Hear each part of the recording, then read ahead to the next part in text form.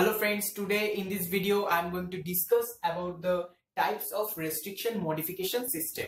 Okay, so depending upon these three factors that is the enzyme system complexity that means the complexity of the restriction enzymes and their cleavage site and their requirements for some cofactors. Now depending on these three factors the restriction enzymes are differentiated into these four types okay? And these types are type 1 type 2 type 3 and type 2's restriction enzyme. Now these type 2's restriction enzymes are much more similar with the type 2 okay? And that's why they are called type 2's okay so now these are the all properties and depending on these properties i will describe about the about this four restriction enzyme okay? So at first discuss about the protein structure. That means the restriction enzyme structure. So the first type is the type 1 restriction enzyme. Now this type 1 restriction enzyme is the in single enzyme containing multiple subunit. That means they are multi-subunit enzyme and in their in, in the one enzyme they have all the function in their different subunit for recognition, modification and restriction. So let me write, suppose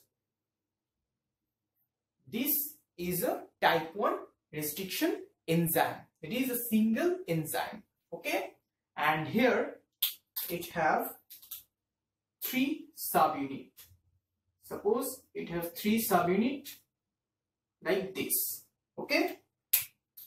And now this different subunit contain different activity or different action. So now suppose this subunit is responsible for the recognition. That means I signify it as S. That is the specificity. Okay.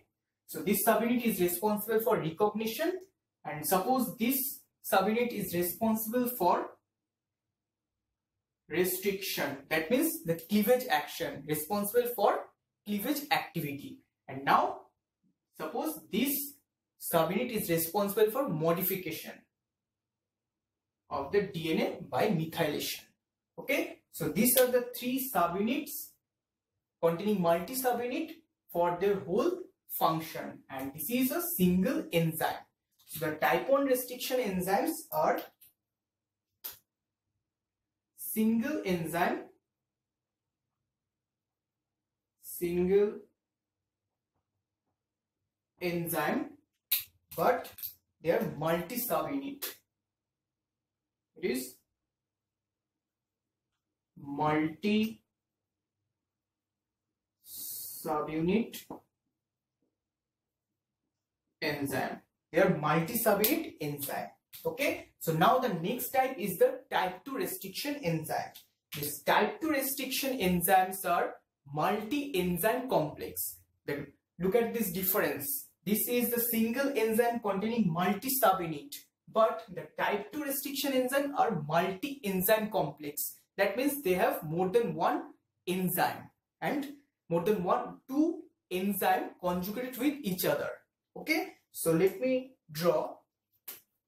So suppose this and this two enzyme are present to show the full activity of the restriction modification system in type 2 restriction enzyme. Okay, so these are the two enzymes conjugated with each other and show their full function. Now these two enzymes, one enzyme is responsible for restriction that is for cleavage action and another enzyme is responsible for modification it is for methylation okay so these are the different enzyme and now remember that these two enzyme both contain the recognition property both have the recognition property. So they also have the recognition property. Okay s for specificity. This is for specificity or recognition. Okay so this is these are the type 2 restriction enzymes. So they are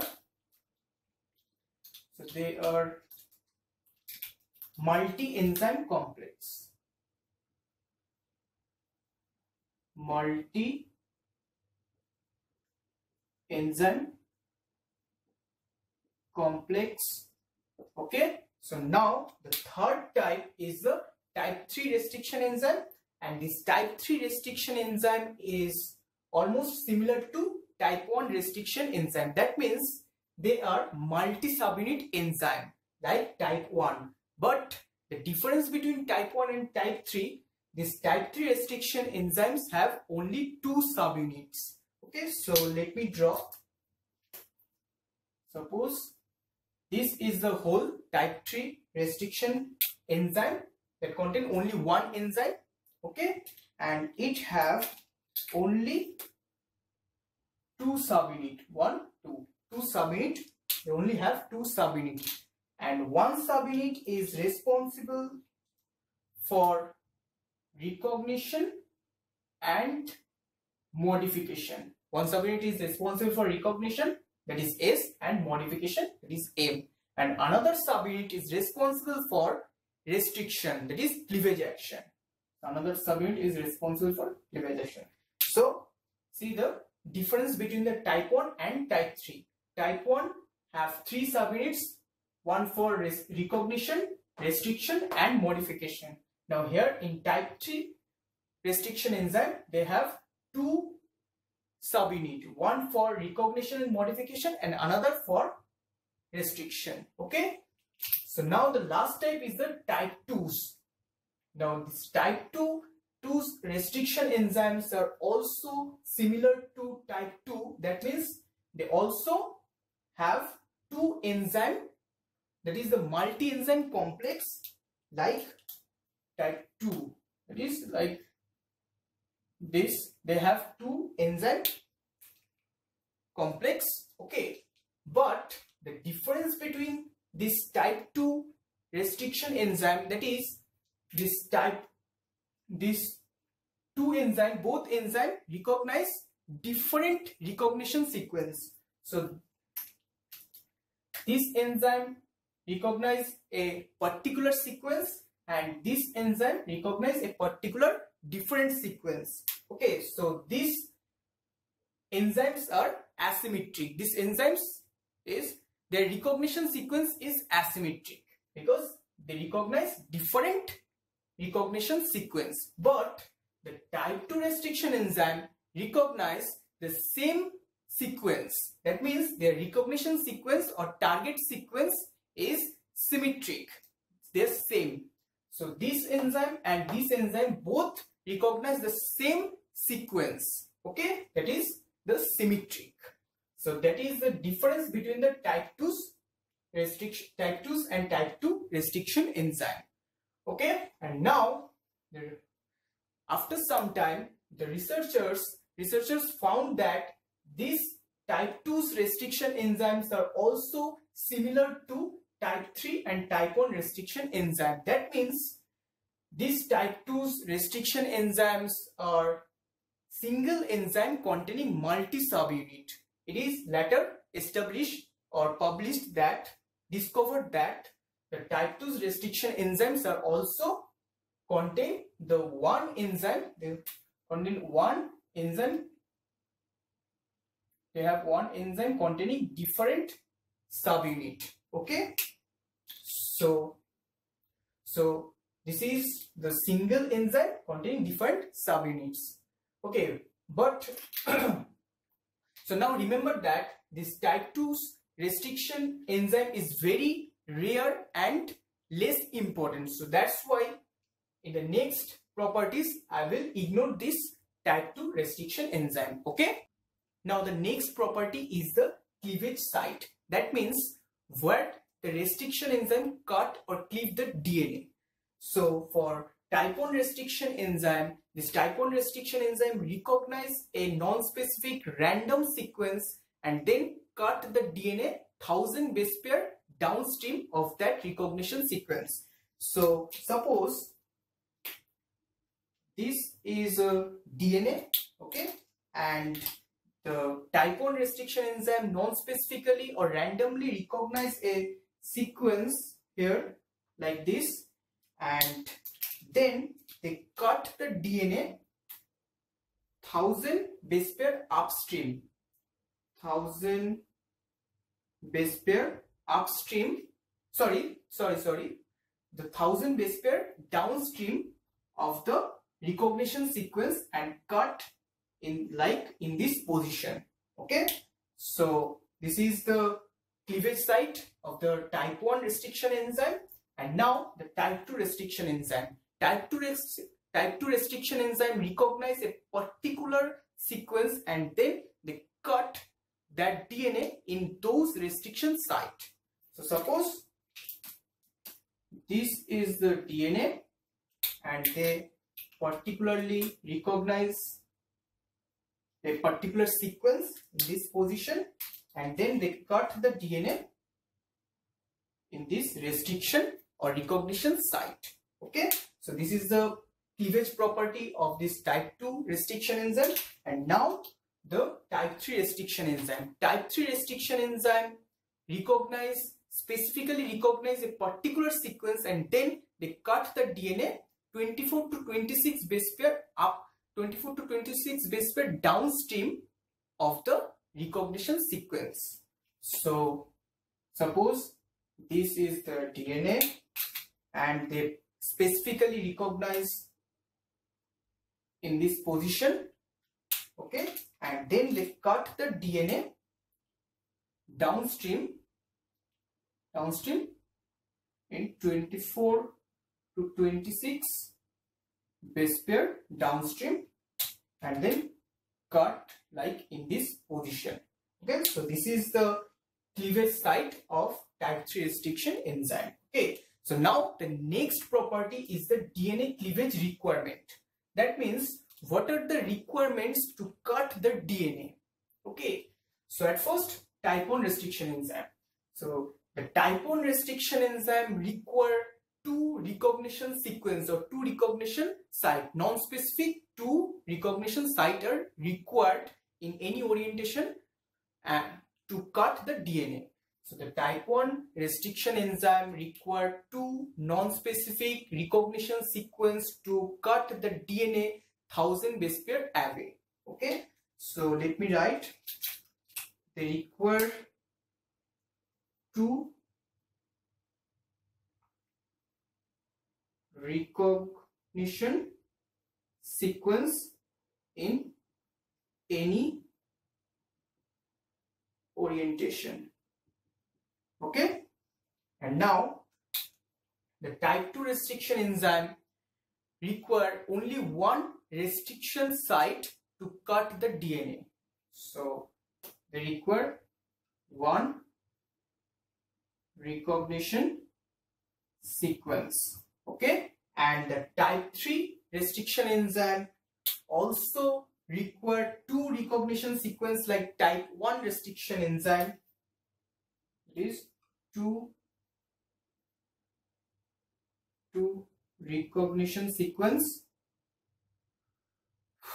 Two recognition sequence but unlike type 1 these two recognition these two specific recognition sequence have to be present in head-to-head -head orientation. That means suppose this is the DNA and here two recognition sequence are present but these two recognition sequence have to be present in this head-to-head -head direction.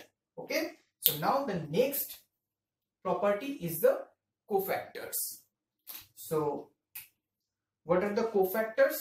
of these restriction enzymes to perform their full activity. Now for type 1 restriction enzyme, they require three, three cofactors that are the ATP, Mg2 plus ion and SAM. That means S adenosyl S adenosyl methionine S adenosyl methionine that is SAM okay?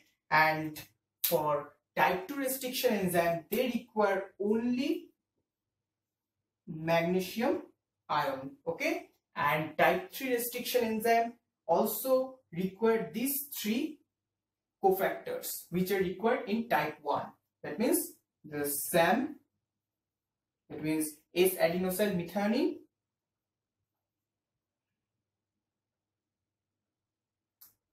ATP and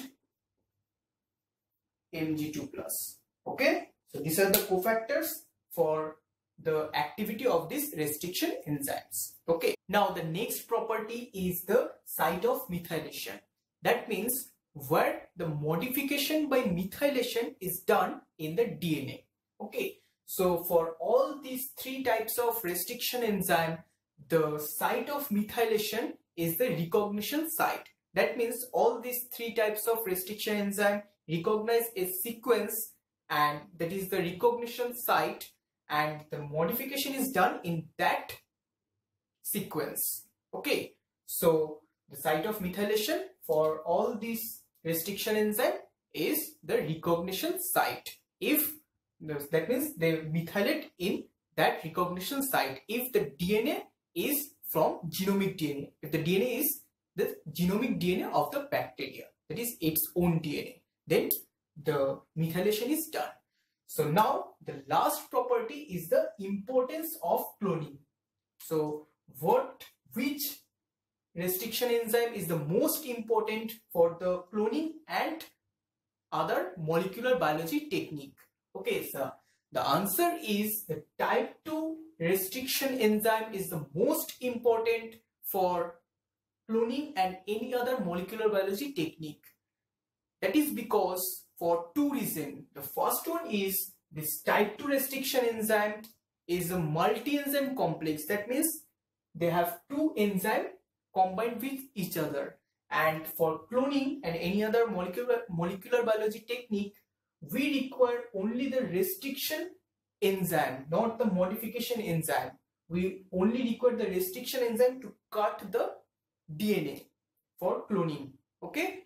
So, so to, so to take the restriction part or restriction enzyme, we can separate this restriction enzyme from the modification enzyme and we can isolate them and use in cloning technique.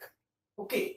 But here you can see that the type 1 and type 3 restriction enzymes have a single enzyme containing different containing multi subunit. So we cannot take the restriction enzyme part from this enzyme. So that is the disadvantage for type 1 and type 3 restriction mo modification system. Okay. So now the second reason to choose the type 2 restriction enzyme for cloning technique or molecular biology technique that is this restriction enzyme cut the DNA at the same position where the recognition site is present. That means the type 2 restriction enzyme recognize a particular sequence and cut the DNA in that position. And for also in cloning technique, we require to cut the DNA at a particular position. And so that reason, that reason we use type 2 restriction enzyme because the type 3 and type 1 restriction enzyme cannot cut the DNA in the particular position because they cut the DNA from the different position or different site from the recognition site. And that's why we cannot use type 3 and type 1 restriction enzyme for cloning or any other molecular biology technique okay? So these are the all properties of the type 1 type 2 type 3 restriction enzyme restriction modification enzyme okay? Thank you for watching this video